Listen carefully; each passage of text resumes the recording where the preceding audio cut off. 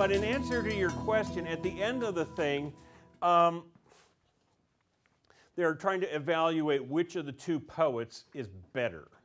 I mean, Dionysus, the god Dionysus, I'll give it away. He's a god. So how's he going to die? He's got to go on a catabasis. Well, I'm a god already.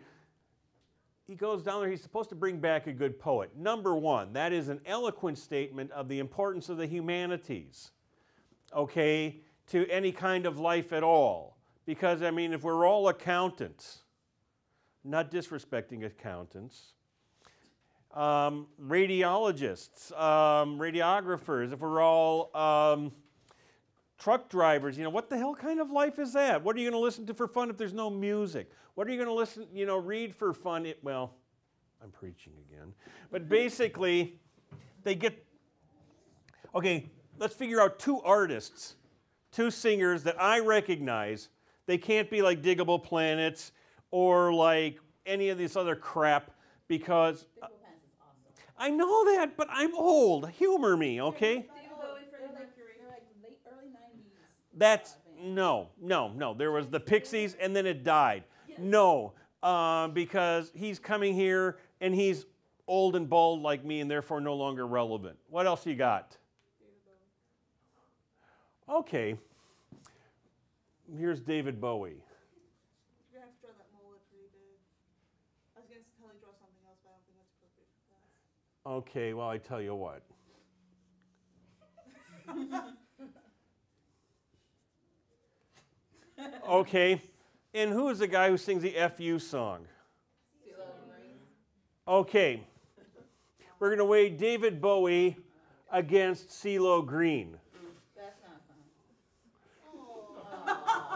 hey, I'm a fatto American. I can do this. I can make fun of people who are overweight because I am one.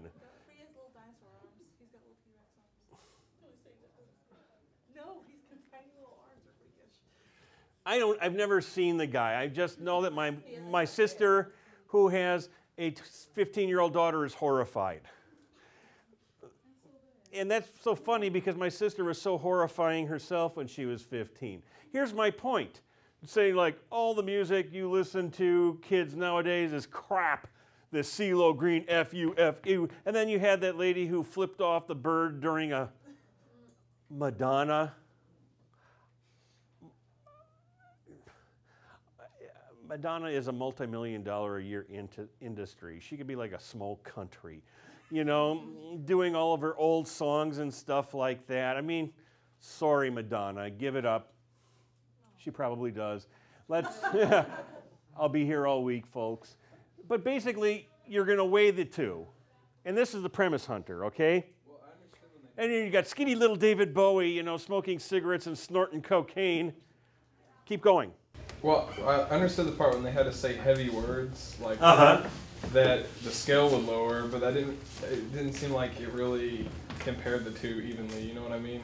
Like, Well, it's get, it's like respecting. It's like arguing. Do you, have you ever argued about music?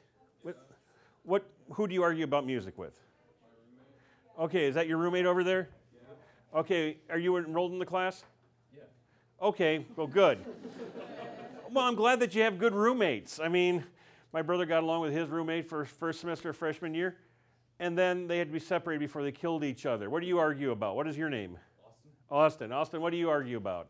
Um, What's better? I like older music, Like, like symphony music, and then I like David Bowie stuff and, and what do you argue about? well, I like that stuff too, but I like new stuff better too.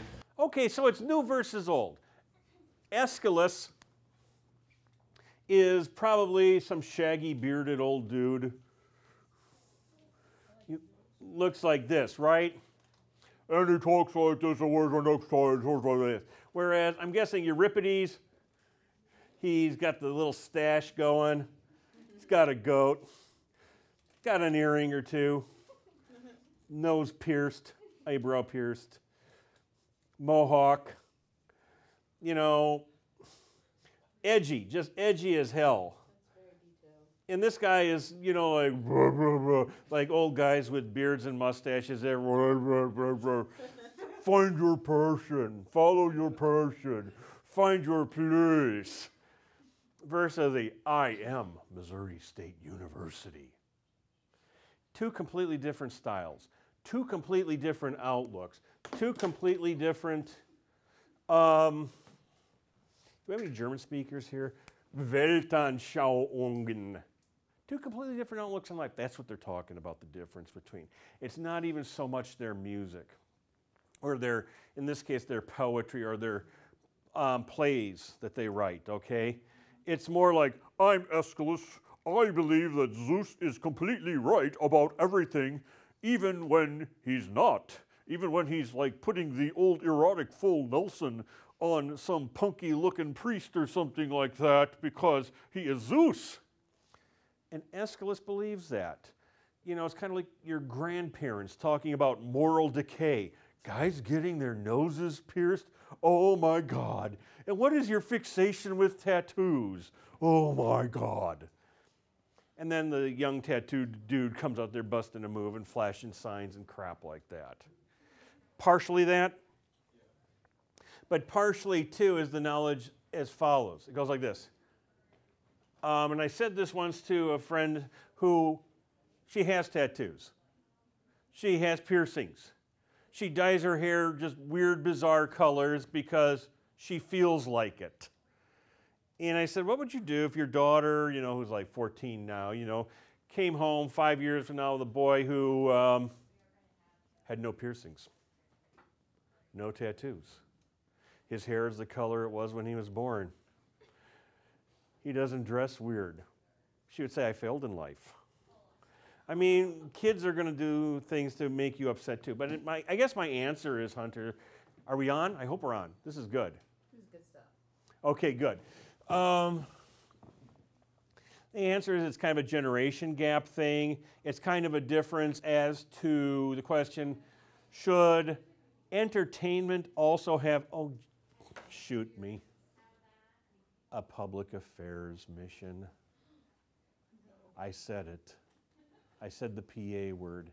Aeschylus believes, and we'll get to this, that um, um, drama should be morally uplifting. Even though Aeschylus wrote the play where Prometheus is flipping Zeus off, giving him the two finger flip off for the reasons I told you about last time. You know, he knows the nymph that is going to bear a son greater than his father, so Zeus has to be monogamous until Prometheus tells him who the chick is that he's not supposed to do anything with. Aeschylus manages to tell that story in a way that still makes Zeus look like the good guy. Aeschylus manages to spin this story in which Zeus is basically doing the right thing only because he's horny. But he was horny in such a great and Zeusly way. It's like if I were to come in here saying, I followed my passion today.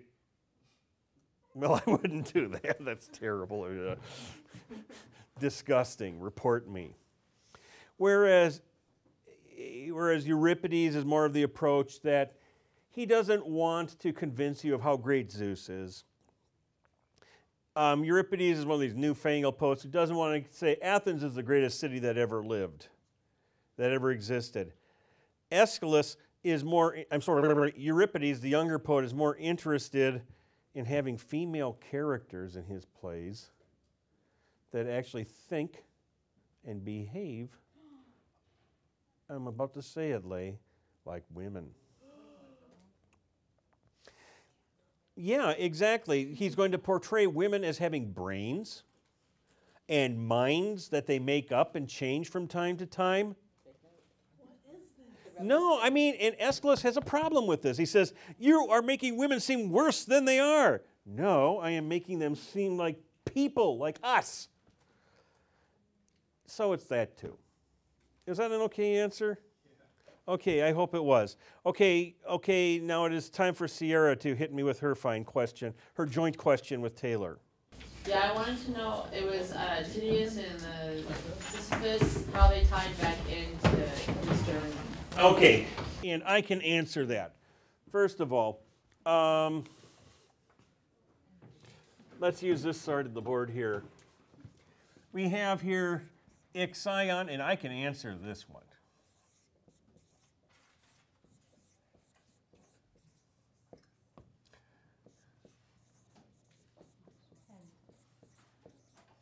And who's the other one? Tydeus. Oh, Tydeus. Well, they're not all perverts, they're just all examples of what an ancient Greek has to do to earn eternal punishment. Um, Ixion is the guy who tried to rape Hera, and he spins round, round, round on a burning ring of fire. Sisyphus is the dude who cheated death and therefore has to roll a rock up a hill for all eternity. Tantalus tried to feed his son Pelops to the gods, so he gets tantalized. Um, Tityus tried to put the old erotic full Nelson on Leto, the mother of Artemis and Apollo.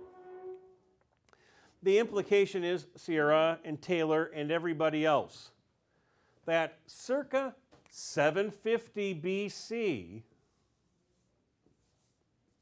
the time at which the Iliad and Odyssey were written down, there's still a pretty clear notion. It's the same notion we see in Gilgamesh. And this is a great question. I'm glad you team asked this question. That short of, you know, trying to rape Hera, trying to rape a goddess, feeding your kids to the gods, cheating death, you're going to spend all eternity in that cold, boring afterlife. It doesn't matter, Sierra, if you give all your money away to charity and if um, you die pushing a car out of the way of some wino out on Commercial Street or something like that. You know, it doesn't matter if you are just the most wonderful and kind and you are still going to be spending all eternity next to Thomas the Axe murderer you know, as long as you don't murder like gods or something like that, or um, the, whichever of you admitted to being a pervert over there. There's really not a whole lot any human being can do to better their lot in eternity. Does that help a little bit? Okay, so just as long as you know you don't rape a goddess or feed your kid to the gods or do any of that stuff, at least you're not going to be treading lava for all eternity. The idea that um, hell is a place of punishment of evil is comparatively modern. These guys just don't have it. Okay, Taylor, does that help? Okay, more questions. I'm desperate. Yes, your name is still? Jackson. I knew that. Go ahead. Seems like Dionysus is afraid to go to Hades. Yeah, and we'll get there in a second. We'll get there in a second. Um, because he is. But before we get that, um, any other just, he is afraid. Any other random questions about the frogs before I um, uh, overwhelm you with cultural competence? Yes, I'm afraid now, Devi. Go ahead. Can I show you a picture No, you are breeding cynicism. You are supposed to keep me youthful and uncynical. What's the opposite of cynical? Optimistic. You're supposed to keep me fresh and young and optimistic. Can I ask a question that has nothing to do with? Sure. Is it wrong that I have the new edition stuck in my head? A new what? New edition, the band in my head? Yes. Okay. Get help. Okay, help. it's like these Viagra commercials. If you have an erection it's lasting for more than four hours. okay. All right. I need to first of all, um, before addressing Aristophanes' award-winning play, *The Frogs*, I need to tell you. Uh, what do you want first? The fun stuff about the plays themselves, about um, ancient comedies, or the boring stuff like history? Boring stuff? Okay, so get the boring stuff done first, right? Okay, many, many years ago. um, just to tell you where I'm coming, when I was young, when Rich was just a baby, and when your parents were babies, um, we had this thing going on called the Cold War. I, are you familiar with the Cold War? Russians. the world is divided up, as far as we were concerned during the Cold War, into two halves. There were the wonderful Americans and the people who love us.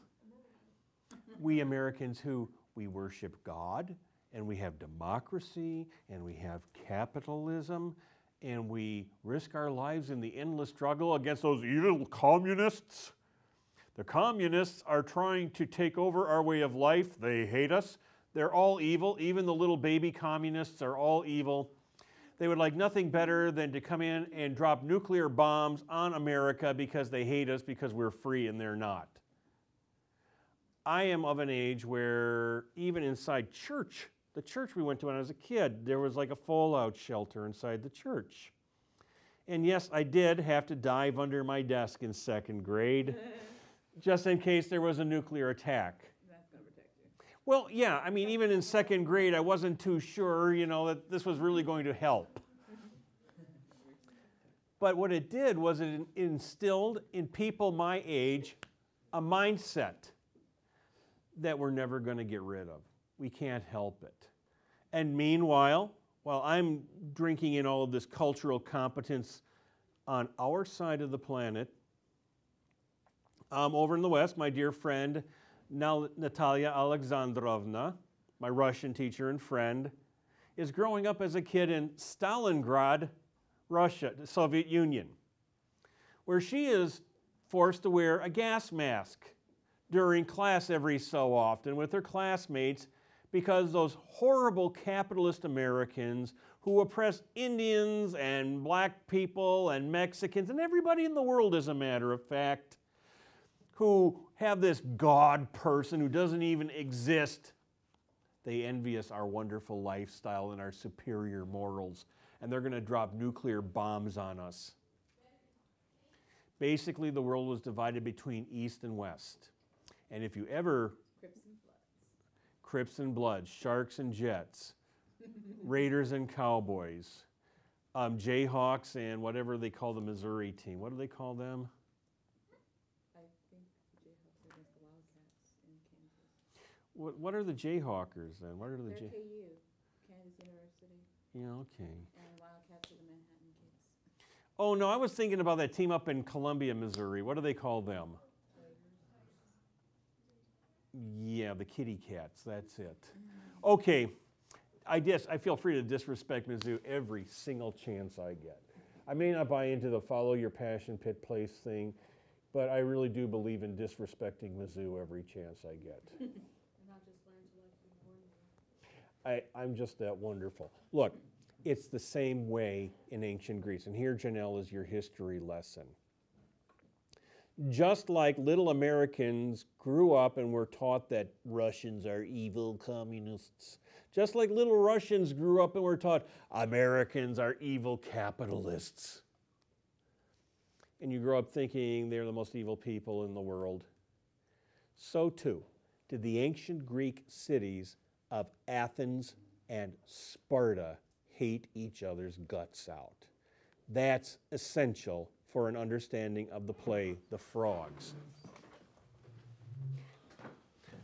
It wasn't exactly all of Greek history, but for centuries, at least a better part of two centuries, let's see, you had. uh, it helps when I do this. Here's Athens. Here's Sparta. And they hate each other's guts. Sparta is a big land power. In Sparta, they pride themselves on being ethnically pure. Okay, in Athens, they are the owners of a great big huge naval empire. The Athenians are sailors. The Athenians have holdings even as far I, I, I drew Greece too big because I also wanted to draw Italy here. But look, I had room. And then we'll draw happy Libya and ancient Egypt and Turkey and my mom. Okay, that's the best I can do for you right now. But for about 150 years, these two guys are at each other's throats.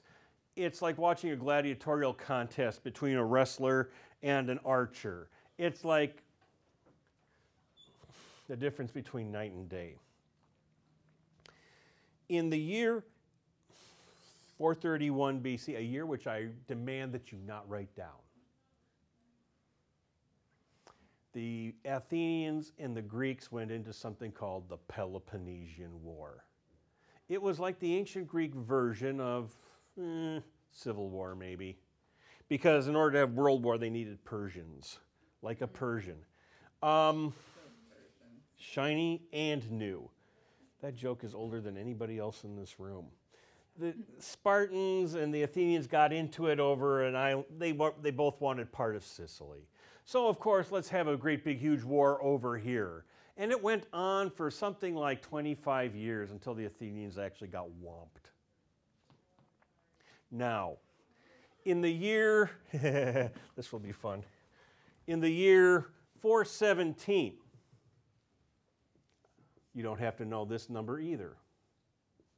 I'm trying to make this history as have I put Janelle in a coma yet? Okay, now she's shaking her head no. Okay, the Greeks were going to, the Athenians were going to send this big, huge fleet over to Sicily to kick the Spartans out once and for all. The admiral of the fleet was this dude by the name of Alcibiades. I'm not going to put him on the test either. He's kind of a hero of mine because he's a wild and crazy guy. He was the admiral. He was about 35 years old, but he was just the real deal. And he was a party animal. On the night before the whole dang Athenian expedition of 417 is going to come over to the island of Sicily and kick the dang Spartans out of there. Alcibiades throws a party.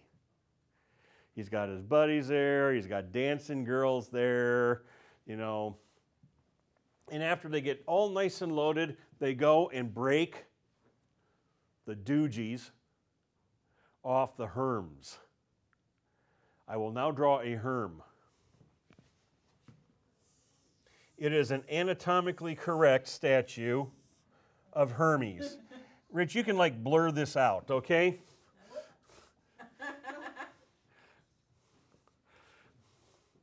that just about every Athenian had in front of their house. Pardon? Yeah, sure. Well, I mean, they're carved out of stone. So, you know, and everybody had them. It was kind of like a statue that you have in your front yard. Say, honey, I just don't like the herm. Our neighbors next door have a bigger herm than we have. All right. So I have to go to the herm market and come back with the 14 inch model or whatever, or the 46 inch plasma herm.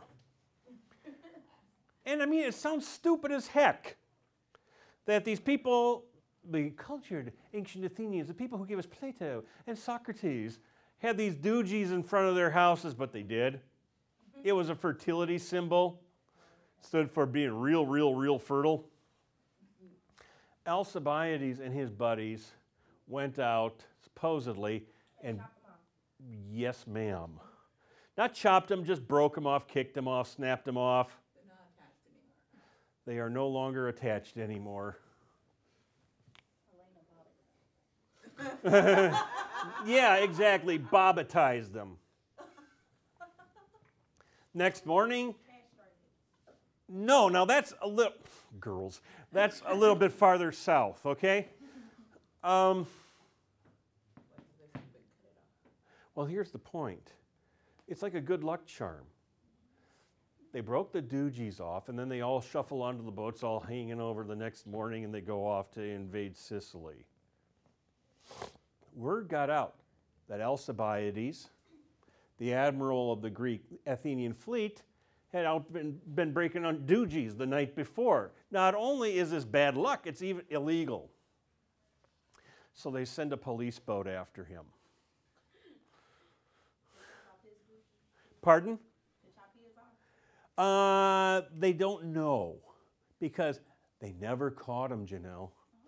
What he did was he found out the boat was coming and he jumped ship and defected to Sparta.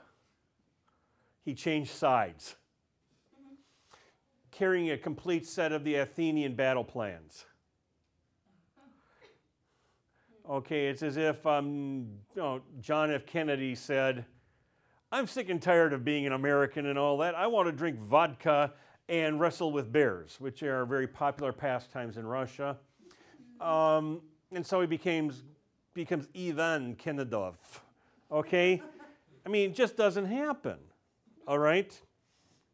It's like watching Pat Boone rap. there is a Pat Boone heavy metal album out there. And hell, there's even a video of North Korean kids playing Take On Me on accordions. You haven't lived till you've seen that. But here's my point Alcibiades defected. The Athenians go over there anyway, and they get their butts kicked. The Athenian expedition completely defeated. The Spartans spend, say, the next 10 years just running rampant through ancient Greece and laying to, laying siege to Athens. And you just know that Bubacus and Jethro in the Athenian city are saying, I told you, when they broke the doogies off the sacred images of Hermes, I could have told you we was going to lose. And lose they did. It's 406, not in the afternoon, you just wish it were. It's 406 BC, and the Athenians are in what Everett McGill would call a tight spot. There's Spartans all over the place. Their navy is trash. They got no money. It's looking pretty grim. They could use a few laughs. I wouldn't say that the ancient Athenians of the 5th century BC invented comedy. Comedy like tragedy, came out, started out as just a chorus singing and dancing around. Kind of like on that god awful thing at halftime of the Super Bowl game, where this 72 year old woman named Madonna is dancing around with all these buff young people and stuff like that with M's written all over them, doing their old songs from when hardly anybody except for me was even alive. She was killing something. She was killing my ears. I know that much. I actually, I, I, I, just hit the mute button and watched in mute stupefaction, just like, good Lord. At least there were no wardrobe malfunctions. Thank you, Fluffy. I know. Eventually, they had a guy who came on and did a little spoken word poetry while everybody danced. This guy was called the hypokrites, the answerer. It's also the Greek word for actor. The person who came out and spoke while everybody else danced was the first actor. The ancient Greeks liked this idea. Pretty soon, they got as many as three people up on the stage. They always kept the chorus dancing around and commenting, but instead of the focus being on the singers and dancers, the focus shifted to the people who spoke when they talked about serious affairs like Prometheus, you know, being stuck up on that rock with a gutter eagle eating his gizzard every day because he's the only person who knows the one girl that Zeus cannot have sex with, that's tragedy. When Antigone is told, your older brother of your two brothers is to be buried with full honors because he died in defense of his country, while the younger of your two brothers is to be maggot bait, just lie out there and rot because he fought invading the city. That's tragedy. That's Antigone deciding to say, they're both my brothers. I don't care about your stupid law. They're both my brothers. One's buried, the other's not. I'm their sister. I'm going to bury them both. That's tragedy. Comedy is just a bunch of goofy crap. Like when they decided in 406 BC that, geez, Aeschylus just died. Bummer. Euripides just died. Bummer.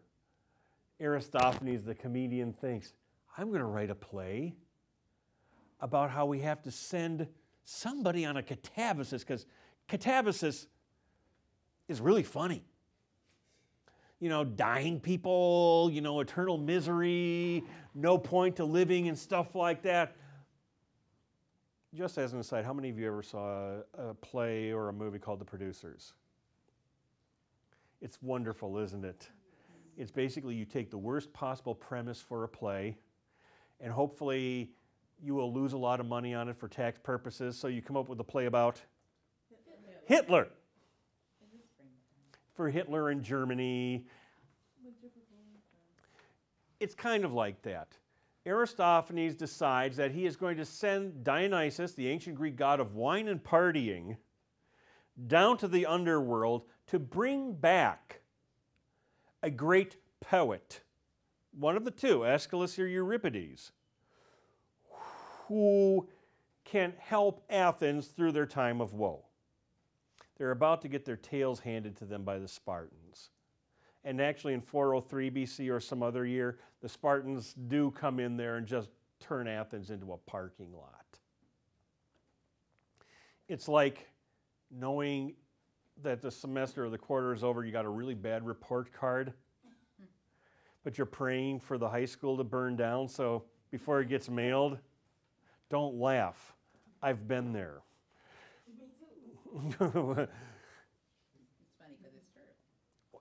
And that's my point exactly. It's the same thing about the frogs. It's really a bad time in Athenian history. Something fecal is about to hit the fan, and it's going to stink and fly all over the place. The Spartans hate us, and there are more of them than there are of us. They're going to come in here and waste us and kill a lot of us and stuff like that. God, I could use a few laughs. And when you need to laugh in the worst possible way, the answer is Aristophanes. If I were to get a chance to talk to one person in all classical antiquity, it would be Aristophanes because the guy just makes me laugh. What he's going to do, and I'll pause for a second, is take the conventions of the catabasis, a hero who makes a descent to the underworld. He gets to see all the traditional features of the underworld, see all sorts of dead people. He's going to hopefully gain some wisdom from this competition between the two poets, and he's going to return, making not only his life better, but all of Athens' life better by bringing them the kind of poet who can actually help them in these tough times. Okay, Camille, you're yawning. I don't blame you. I've been talking a lot.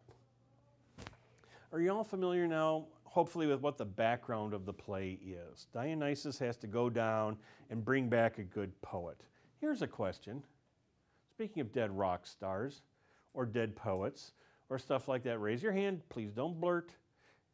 If you would, you could go down to Hades and bring back a dead rock star or a dead author. Who would you bring? Sam? I've got a list. but- No, one. I'm making it. John Lennon. Okay. Anybody else? Who said Bob Marley? Got Bob Marley. Bob Marley, John Lennon. Who? Jimi Hendrix. Not bad. So far, I'm voting for Jimmy. Anybody else? Pardon? They count. Your name is? Dan. Dan. Bon Scott? Okay. Why? Well, no, I mean, his great achievement was what? To drink himself to death? I tried that once and I failed. Here I am. Okay, what kind of achievement is that? Stop. Whereas Bob made us all love each other, you know? John Lennon, well, I'm no fan, but I know a lot of people who are. Okay, no argument there. Who else do we have? Hendrix. He taught the world, he taught Bob Dylan how to play all along the watchtower. Okay, who else? Did cult, yeah, okay, I'm desperate. Freddie Mercury. I'll take Freddie. Ray Charles. Ray Charles? Yes. Kurt Cobain? I'll take that. Don't agree. I'll take that. Can we trade Adele for Amy Winehouse? No. No, but what we could do is we could put Adele on the cosmic scales of truth with Amy Whitehouse. And I mean Winehouse. And I know it would be kind of funny because as a whiteo American, you know, I'm rooting for Adele, okay?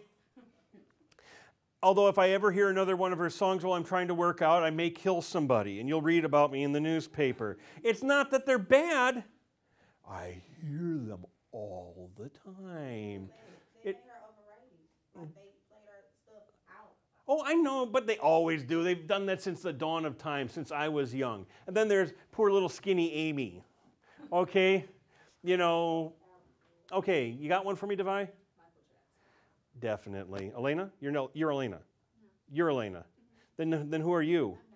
You're Becky. Okay, today you're Becky. Go ahead today, Becky. I turned into a burning ring of fire. I'll take Johnny. He's the man in black. He kicked ass. Your name is? Jack. Jack? Biggie Smalls. Yeah. Biggie Smalls? Yeah. I'm old. Tell me who he is. You know who he is, Rich? Got shot in March 1997. Vegas on the strip. Okay. He got shot like a few months right after Tupac got shot. Okay. Now, here's my question What great redeeming benefit would he bring to humanity if he were alive again?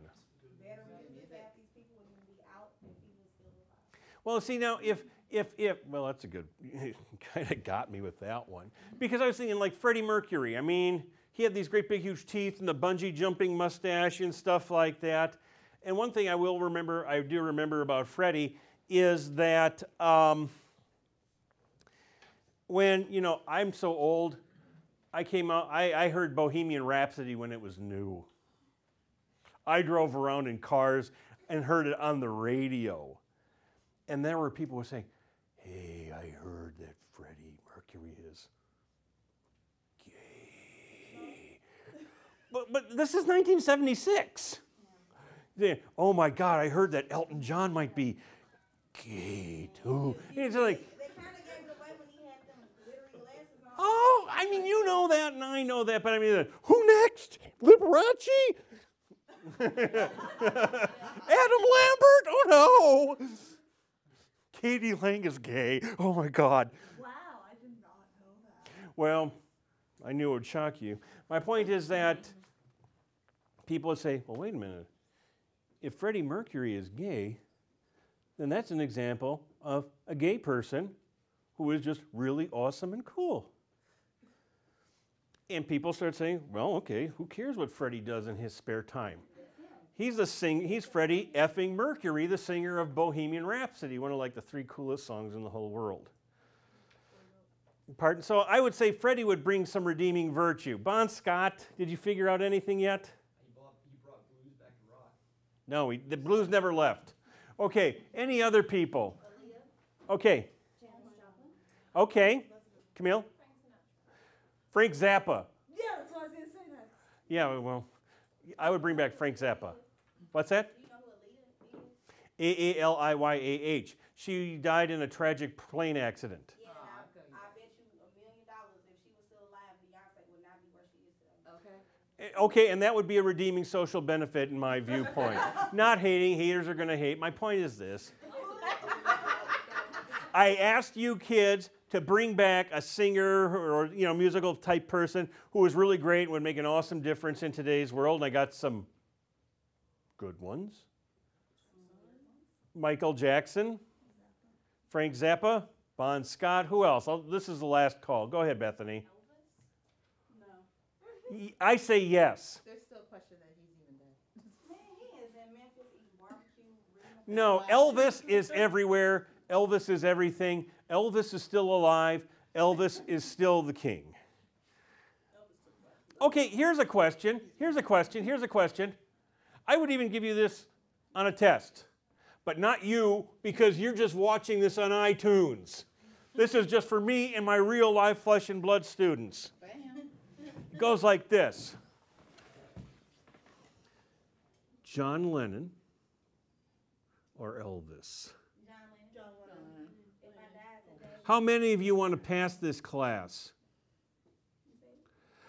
Let's try that again. John Lennon or Elvis? John Lennon or the king of rock and roll? This woman flat out gets it, okay? I think the king of rock and roll was Cab Calloway, 'cause he started Jackson. No, he's not. Um, and Michael Jackson is the king of pop, so he's in heaven anyway. But yeah, Elvis or the Beatles? Elvis! Beatles. We're going with the America. Does nobody want to stick up for the king of rock and roll? Okay, raise your hand if you love Elvis more than the Beatles. Raise your hand if you're one of the benighted souls with no taste in music who don't really care whether you pass my class or not. Who, that to George Connor. pardon? I said, tell that to George Connor, the ultimate Beatles fan, and also the department head of political science. George is my doppelganger. George and I want, and you can ask him if this is true. We were going to a convention in San Diego. We're walking through the um, Denver airport, the old Denver airport, and we saw Madeleine Albright. And she said, Joe, how are you doing? I said, hey, who's that guy? Of course, George will tell you that. She said, hey, George, how are you doing? Who's that guy? George is my old buddy. He wear, still wears wooden neckties from time to time. I had him for a class, and I had to be in his office, and he had so much Beatles junk, it was like ridiculous. He needs to get a life. And see, that's his penance. They made him a department head. Whereas I get to have fun. But you also like Elvis, so the point is moot. See, that hunter is kind of like the difference between Aeschylus and Euripides. I knew that if I probed and prodded and kicked and pulled and tugged, I could get you mad enough to say mean things about me, all of which I remember, along with the name of the person who saved them, and I'm going to run down the write down the book of bad people. But it's going to end with that. The play is going to end with Elvis or the Beatles, Bon Scott or Aaliyah. Aaliyah, sorry. Sammy, Is Elvis gonna be on the test? one of the reasons why people try to say that Elvis still is alive is, I think, to suggest that it's kind of like Elvis has just gone on a catabasis to gain wisdom. Elvis is, I'm sorry, was a spiritual seeker. Elvis used to wear around his neck a Mogen David, a crescent, and a cross because he used to say, I ain't gonna be kept out of heaven on no technicality. or maybe not. Okay, other questions? Go ahead, Devi. Why Dionysus? Of, all the people, gods, Dionysus. Okay. I'm going to put my legs on this chair here so you ladies cannot be distracted from my teaching. Like it's going to be funny because it is Dionysus. Number one, it's Dionysus's festival. The comedies were held at the festival of Dionysus. That's one thing, okay? So, why not? And number two, I mean, Dionysus. I mean, you said he has a body like a Greek god. Do you expect some like androgynous little purple guy who looks like an ancient Greek version of Prince? I think Prince is Dionysus. I think Dionysus is Prince, little purple guy. You don't know if he's a girl or a guy, and he's going, ah, ah, you know, and stuff like that. He's perfect. I, I mean, it, it, it's, oh, great fluffy. Now do you got some Prince in your head? Yes. See, thank me. That's much, much, much, much better. I think the movie Purple Rain is an, just an ultimate catabasis movie, by the way. My point is this Dionysus is the excellent choice because he's the god of wine and festive, and because he's a god. If he's a god, we would think, wouldn't we, that Dionysus here, oh, come on in, your godship. It doesn't work that way at all. He's got to make the catabatic journey, and he does it in really bad style. Dionysus has to go on catabasis. First of all, he gets a wise guy, slave named Xanthias. Okay? He's the sidekick. He's a twit. You know, his idea, his job, Xanthias' job is to make bad jokes, while Dionysus, kind of like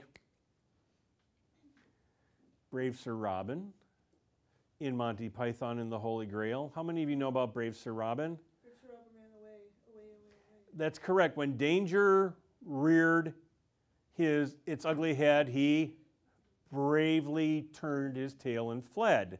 And then Sir Robin says, "Hey, you're not supposed to be." And then the singer also sings about how he was torn into bits and eaten, and that's what Xanthias' job is. That is not an invention of Monty Python. The Greeks were doing that kind of stuff. And then Dionysus goes to Hercules, who is, of course, his half brother. Again, we would assume that Dionysus would say, Hey, Herc. Hey, Dio. How's it going? Knock up any mortal women lately? um, no. And Dionysus says, Heracles, I understand that um, you've gone to the underworld. Yes, I have. My last labor was a Catabasis. I went down there and took Cerberus, the three headed hound of hell, and brought him back to ancient Greece. Well, okay, and Hercules is looking all buff and handsome and kind of like flexing and crap like that. And then you got this little guy who looks like Prince, except for he's not cool. He's a little purple guy, wearing fruit on his head and holding a, battle, a bottle of MD 2020 because he's the god of wine. And he says, How exactly, Herc, do I get to the ow, underworld? Adam Lambert, ladies and gentlemen, Adam Lambert playing Dionysus. Heracles being played by some muscle bound thug. Fabio. Armie Hammer. Who? Armie Hammer. And yes, that is a real person. Well, there used to be an Armand Hammer. I mean, would Armie Hammer. Ladies, you got to pick.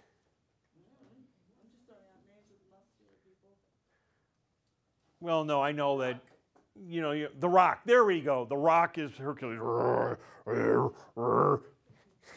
Hi. I have to go to the underworld. How do I go there? And, um, you know, playing up every single stereotype in the book. Aristophanes made fun of absolutely shh, everybody equally straight people, gay people, men, women, Greeks, barbarians. Himself, he had a receding hairline, like me, and made bald jokes all the damn time. I mean, he would even make pedophile jokes, like, because it was kind of considered okay for an older Greek man to like boys who were about 9, 10, 11, 12. I'm not supporting that. I think it was crap. I think it was basically effed up system. I don't have any problem with two gay guys getting married and adopting a family of 57 kids. I just don't care. It is kind of warped when it's one's a kid and the other's a grown up, no matter what gender. But Aristophanes said, Well, this is all well and good. My son was walking by your house last night, and you didn't even fondle his testicles.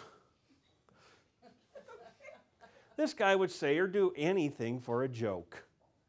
So when um, Adam Lambert, who is a one of the stars of the former, what was the name of that stupid crap reality show he was on? Or contest of the talentless. What did he win? American something? Okay, American Idol was a TV show that ran too long and catapulted all sorts of nobodies to stardom. And this one was the flamboyant gay star as opposed to the country and western star, as opposed to the guy with cute hair. As opposed to the guy from Springfield, Missouri. He was the bachelor. Keeping all your reality kids in line. No. Um, Heracles says, Well, you see that tower up there? Yeah, yeah, yeah. Well, you climb up to the top of that tower, Dionysus. Yeah, okay, I'll do that, I'll do that. And then you go up to the top of the tower and you look out over the edge of the tower. Yeah, okay. And you look down and you see the torch race getting ready to start. Yeah, yeah, I love the torch race. Yeah, what do I do then? Well, you know, when the guy who starts the torch race says, okay, go, yeah, you go. Oh no, I smacked my little brains out. I'd pass for a joke in ancient Greece. He's a god, and he's supposed to um, worry about dying.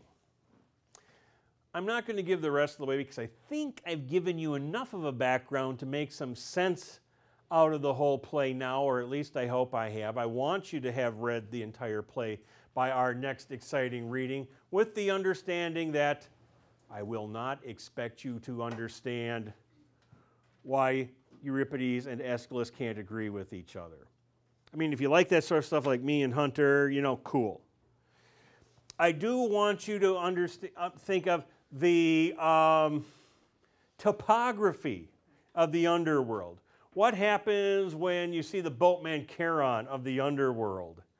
You know, is he a nice guy? Is he a happy guy? What is the purpose of the frogs besides singing Kex, coax, coax?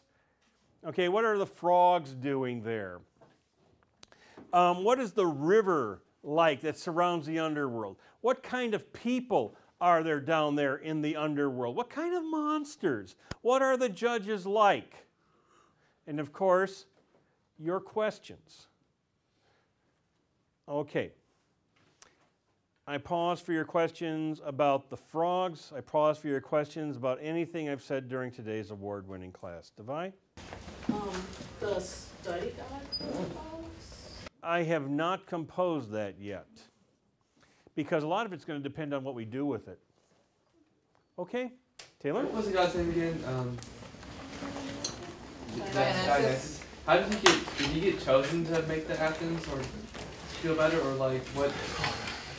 Well, okay, I'll tell you this. It's off the record. You can leave your books in your backpacks. This will be an act, a, a little bonus. I know. I'm going to reward you with a bonus lecture. It's going to be a real short one. It goes like this. The city of ancient Greece that is closest to Athens is called Thebes. Because 90% of the surviving ancient Greek literature was written by people from Athens or people who like to suck up to Athens or wish they were in Athens, Athens is always going to look good and Thebes is always going to look bad. Growing up in Wisconsin, we had a name for people from Illinois Fibs. Effing Illinois bees. They called us cheeseheads. We all told Iowa jokes together, the only state where the cheerleaders go out on the field to graze at halftime. Here in Missouri, it's popular to tell Arkansas jokes or Kansas jokes. Kansas is good for sunflowers, sunshine, and sons of yeah. I'm just saying that that's what you say about your neighbors. Thebes gets a bum rap. So one day there was this princess of Thebes named Semele. She was cute, and Zeus came to her and mingled in love with her and got her pregnant because once he turned loose to Zeus, the women do. Um, Zeus just has womb envy. Here's what happens the girl Semele, who is going to be Dionysus' mom, gets pregnant. And Zeus actually comes back to visit her on occasion, which is very un Zeus like, because Zeus is more the use them, abuse them, and lose them type. So Semele started, I have got it on with Zeus. And she tells this old bag lady, Hey, old bag lady, you know who I got it going with? Zeus. The bag lady is Hera in disguise. And she says, Well, how do you know, young lady, that it's Zeus you slept with? I mean, you know, lots of guys say they're Zeus. Oh, no, he really was Zeus. Tell him to prove it. And then the girl starts to have some doubts. And basically, the old bag lady says, Tell him to reveal himself to you in his full Zeusliness, the way that he does when he makes love with his lawfully wedded wife, the great goddess Hera. Can you remember all that? and she does. I mean, you know, Semele and Zeus have sex, and she says, Oh, by the way, I want to make sure you're Zeus, so please reveal yourself to me in your full Zeusliness, the way you do when you make love with your lawfully wedded wife, the great and powerful and beautiful goddess Hera. I'll do anything for love, says Zeus. but I won't do that. because my Zeusliness is too much for you. You don't love me, and you think I'm fat. So he has to reveal himself into his, his full Zeusliness and immediately fries her to a crisp. A pile of ashes. A pregnant pile of ashes. He reaches down into the smoldering heap of ashes and pulls out the fetus. And then he remembers, oh, yeah, I'm a guy, put it in my thigh so he doesn't die. I ought to be fired for that. Bleep out the taking of our Savior's name in vain, but leave the dance. I felt it for a second. He carries Dionysus around in his thigh, and then he finally like spoops him up to be raised by nymphs and satyrs. Why not? Nymphs are semi divine female creatures who just want to party all the time. Satyrs are semi divine male creatures who just want to party all the time, which is why they hook up with the nymphs. And the nymphs and the satyrs are getting drunk and just having a really grand old party. And precisely. So that's why Dionysus. What was your question? What was your question? How Dionysus got uh, cheering up the Athens because they were losing so bad. Because again, you could send Her- Hercules, but it wouldn't be funny. You could send Hephaestus, the limping god of metal shop. It would be funny for like the first five minutes, kind of like almost every Will Ferrell movie that's not Anchorman. Old school is also good. But my point is that you want, you really need to laugh, right? So you got to pull out the heavy artillery. And who better than the somewhat androgynous, drunken god whose festival it happens to be? How's that? I'm sticking to it. It's kind of like drag, okay? Why do the British like to be in drag? Like uh, Eddie Izzard, right? Why does he wear drag? I know, but it, the, I mean, what's the point? British have drag races. It's like we only have one good drag queen in the whole country. We have to, RuPaul? That's correct. RuPaul, hero of the drag races. If I had to design a catabasis, if I were going to make a catabasis hero movie that was funny, RuPaul would be in it. I like that idea. He would be bringing back either Divine or Andy Warhol. Okay, how's that for avant garde? I don't know. That's what I got for you today. Any more questions? If there are no more questions, get out of here. I'll see you next time. Read the dang frogs.